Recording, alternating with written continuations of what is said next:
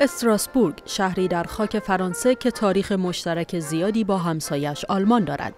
با مردمی که فرهنگشان جایی در میانه آلمان و فرانسه گیر افتاده. خیلی زود پس از پایان جنگ جهانی دوم خانه شورای اروپا شد و محلی برای گسترش ایده اروپای مشترک. 67 سال بعد حالا فرانسوی ها حتی بیش از بریتانیایی ها به اتحادیه بد بینند. در نظر سنجی که پیش از رفراندوم بریتانیا انجام شد 48 درصد بریتانیایی ها مخالف اتحادیه بودند در حالی که این آمار بین فرانسوی ها 61 درصد بود.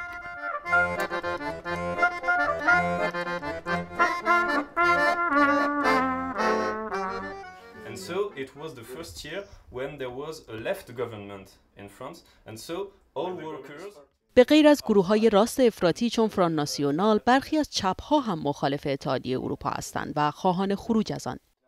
جولیان مکسیم و استپان عضو شاخه جوانان حزب کمونیستند.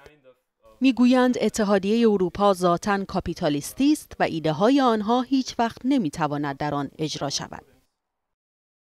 Ça nous permettrait d'avoir notre propre politique économique. به ما اجازه میده که سیاست های اقتصادی رو در پیش بگیریم؟ که حالا امکانش نیست. مثلا ملی کردن یکی از سیاست های مهم در بخش های چون بانکداری یا دفاع و کارخانه های تسلیحاتی است.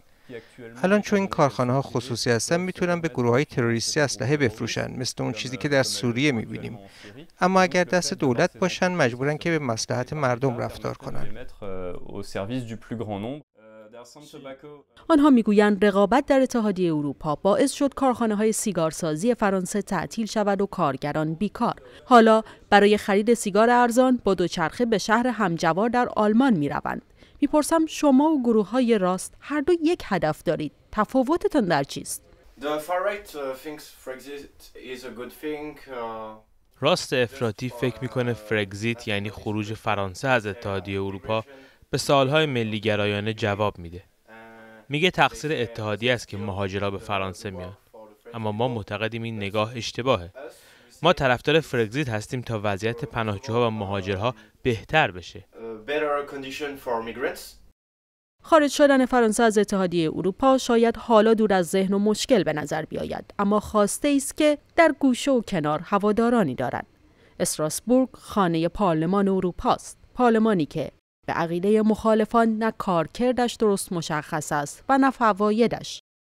در حالی که بیشتر کارهای اتحادیه تو بروکسل بلژیک انجام میشه معاهده ها میگن که جلسات کامل پارلمان تنها می‌تونه اینجا در استراسبورگ و در این ساختمان برگزار بشه یعنی پارلمان اروپا. این یعنی هر ماه برای یک هفته ده هزار نفر پنج ساعت راه از بروکسل تا اینجا میان تا جلسه رو برگزار کنند برآورد هزینه های ساخت نگهداری و برگزاری چنین جلسه هایی با شما.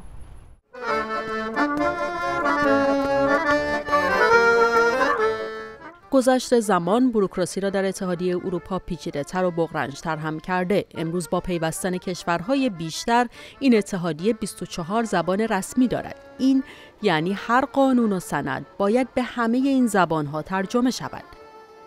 کمیسیون اروپا 1700 زبانشناس دارد، 600 مترجم تمام وقت و 3000 مترجم پاره وقت. آینامه ها و قوانین جزئی گلایه دیگر از اتحادیه است. استانداردها برای این تعیین شده که محصولاتی که خرید و فروش می شوند حداقل هایی داشته باشند. مخالفان اما می‌گویند دست و پاگیرند و غیر ضروری. معروفترینشان قانون موزهای خمیده است که موزها را درجه بندی می کند و می‌گوید موز درجه یک نباید خمیدگی عجیب یا لک داشته باشد. سال 2005 یعنی حدود 11 سال پیش مردم فرانسه در یک همه پرسی به قانون اساسی پیشنهادی اتحادیه اروپا نگفتند. یک سال بعد معاهده لیسبون اجرا شد. معاهده ای که بدون رأی مردم بود و در حقیقت همون قانون اساسی همین باعث شد که مخالفان معتقدند که چرا بعد از آن عضو اتحادیه ای بود که به رأی مردمش احترام نمی‌گذاره. بگین شیر آقایی بی بی سی استراسبورگ